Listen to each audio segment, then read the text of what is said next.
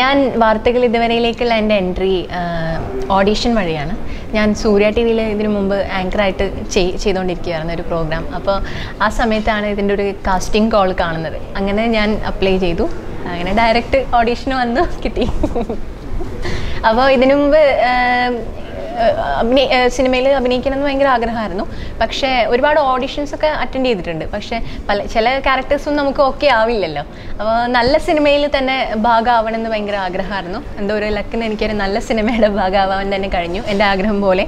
ഞാൻ നയന്റീസിലത്തെ മൂവീസൊക്കെ കാണുമ്പോൾ ഭയങ്കര ഇഷ്ടമായിരുന്നു എനിക്ക് അതുപോലെയുള്ള സിനിമയിലൊക്കെ അഭിനയിക്കാൻ വേണ്ടിയിട്ട്. ഒരു ഇതിലെനിക്ക് നയന്റീസ് നയന്റീസ് മോഡൽ മോഡലുള്ള ഒരു സിനിമയാണ് എനിക്ക് ആദ്യമായിട്ട് കിട്ടിയത്. മാത്രമല്ല ഒരുപാട് ആർട്ടിസ്റ്റുകളുണ്ട് ഇതിൽ ഒരുപാട് ലെജൻഡറി ആർട്ടിസ്റ്റുകളുടെ കൂടെ വർക്ക് ചെയ്യാനുള്ള ഒരു ലക്കും കിട്ടി.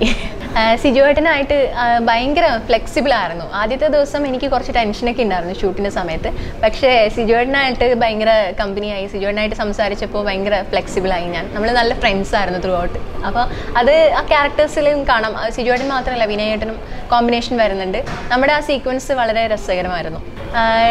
ടെൻഷൻ ഉണ്ടായിരുന്നോ എന്ന് ചോദിച്ചു കഴിഞ്ഞാൽ ഓഡിഷൻ കഴിഞ്ഞിട്ട് എനിക്ക് ഈ സിനിമയെ പറ്റി അധികം വലിയൊരു അറിവൊന്നും ഇല്ലായിരുന്നു. മേക്കപ്പ് ടെസ്റ്റ് വന്നപ്പോഴാണ് അറിയുന്നത് പക്ക തൊണ്ണൂറ് കാലഘട്ടത്തിലെ ഒരു സിനിമയാണ്.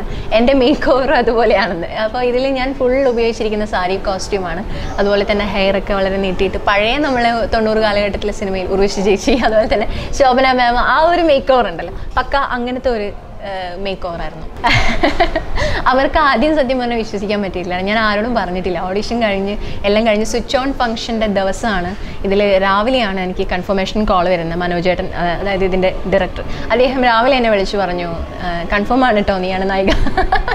അപ്പോൾ ആ സ്വിച്ച് ഓൺ ഫംഗ്ഷൻ മമ്മൂക്കയാണ് സ്വിച്ച് ഓൺ ചെയ്തത്.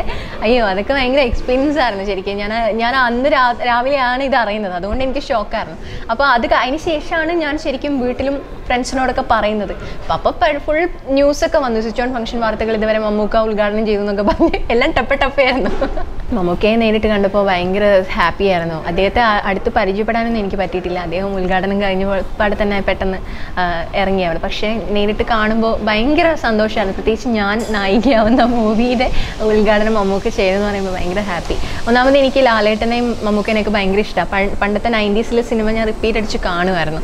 ഇപ്പോഴത്തെ സിനിമയും കാണാറുണ്ട്. പക്ഷേ തൊണ്ണൂറ് കാലഘട്ടങ്ങളിലെ സിനിമ എനിക്ക് എന്തോ ഒരു ഭയങ്കര ഇഷ്ടമാണ്. ഞാൻ ഇപ്പോഴും ഇപ്പോഴും അത് റിപ്പീറ്റ് അടിച്ച് കാണും. ഞാൻ പറഞ്ഞല്ലോ ഇതിൽ ഒരുപാട് ലെജൻഡറി ആർട്ടിസ്റ്റുകളുണ്ട് അവരുടെ കൂടെയൊക്കെ വർക്ക് ചെയ്യാൻ എനിക്ക് പറ്റി. എസ്പെഷ്യലി നമ്മുടെ തൊണ്ണൂറ് കാലഘട്ടങ്ങളിൽ ഞാൻ കണ്ട് ഞാൻ കുഞ്ഞായിരിക്കുമ്പോൾ തൊട്ട് കണ്ട് വളർന്ന ആക്ടേഴ്സ് നെടുമുടി വേണു സാർ ഇന്ദ്രൻ സേട്ടൻ മാമുക്കോയ അതുപോലെ തന്നെ അവർ തൊട്ട് ഇപ്പോഴത്തെ കോമഡി ആർട്ടിസ്റ്റുകൾ വരെ ഇതിൽ ഒരുപാട് ആർട്ടിസ്റ്റുകളുണ്ട് അപ്പോൾ ഇവർ വിജയരാഘവൻ സാർ അപ്പോൾ ഇവരുടെയൊക്കെ കൂടെയുള്ള ഒരു എക്സ്പീരിയൻസ് പറയുമ്പോൾ ഒരുപാട് പഠിക്കാനുണ്ട്. ഇവർ ആക്ട് ചെയ്യുന്നത് കാണുമ്പോൾ തന്നെ നമ്മളിങ്ങനെ ഫ്ലാറ്റായി ഇങ്ങനെ നോക്കി നിന്നു.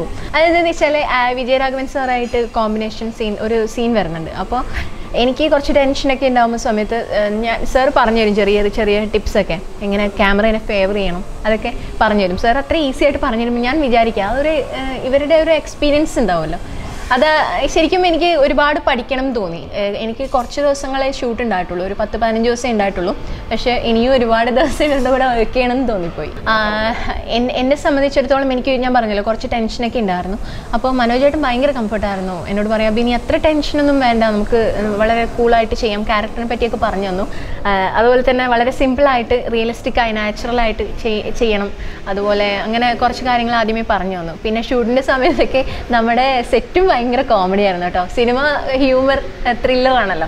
അപ്പോൾ ഇതിൽ ഒരുപാട് കോമഡി ആർട്ടിസ്റ്റുകളുണ്ട് പഴയ ആർട്ടിസ്റ്റുകളുണ്ട് പുതിയ കോമഡി ആർട്ടിസ്റ്റുകൾ വരെ ഉണ്ട് അതുകൂടാതെ സെറ്റ് ഭയങ്കര കോമഡിയായിരുന്നു ഇവരുടെയൊക്കെ കൂടെ. ഇപ്പോൾ സിജുവേട്ടനായാലും വിനയേട്ടനായാലും മനോജേട്ടനായാലും എല്ലാവരും ഭയങ്കര കോമഡി പറയുന്ന ആൾക്കാരാണ് അതുകൊണ്ട് സെറ്റ് ഭയങ്കര കോമഡിയായിരുന്നു